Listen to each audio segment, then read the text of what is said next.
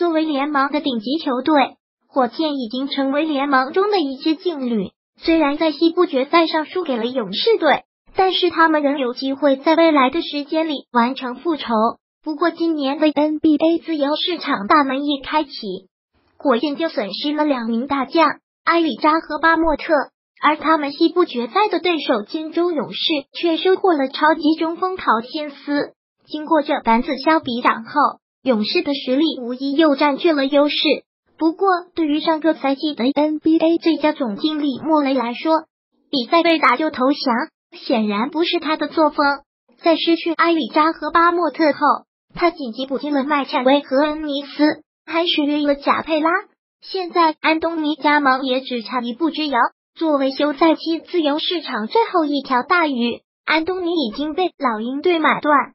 现在认领期已经过去了两三天，但是火箭一直没有官宣。虽然不少人认为铁瓜已经打上了火箭队的标签，基本上跑不了。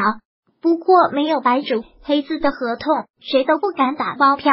这样的担心并非没有道理。算上本次火箭队已经第四次追逐安东尼，第一次的时候安东尼还在掘金队，那时候姚明刚刚退役。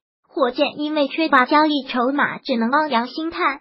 第二次就是二零一四年的夏天，当时哈登、霍华德已经在球队，安东尼顺利加盟，就会与他们组成三巨头。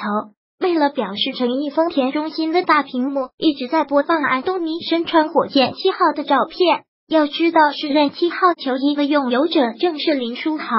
去年夏天，手握交易否决权的安东尼一心加盟火箭。但是几个月的肥皂剧结局却是安东尼被交易到了雷霆队。不过莫雷身为上个赛季 NBA 最佳总经理，他不会让球队再次出现如来打水一场空的局面。所以说，火箭球迷可以安安心心地睡几个踏实觉。在签下安东尼后，火箭今年夏天的操作并未就此告一段落。毕竟大前锋安德森的大合同如鲠在喉。不仅阻碍到球队追逐巨星的计划，同时也如同鸡肋一般让莫雷左右为难。近日，美国媒体 Space City Scope 的报道，消息人士透露，莫雷正在与热火商讨关于安德森的交易。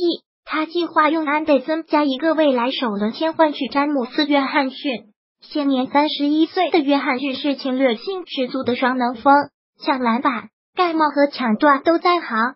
但并不以得分见长，不过他愿意为球队贡献自己的全部能量，是一名很棒的防守球员。火箭如果想在明年复仇勇士，最好的办法就是补强，尤其是在三号位的补强更是火箭的重中之重。说白了，火箭之所以补强三号位，最为主要的原因就是能够与杜兰特相抗衡。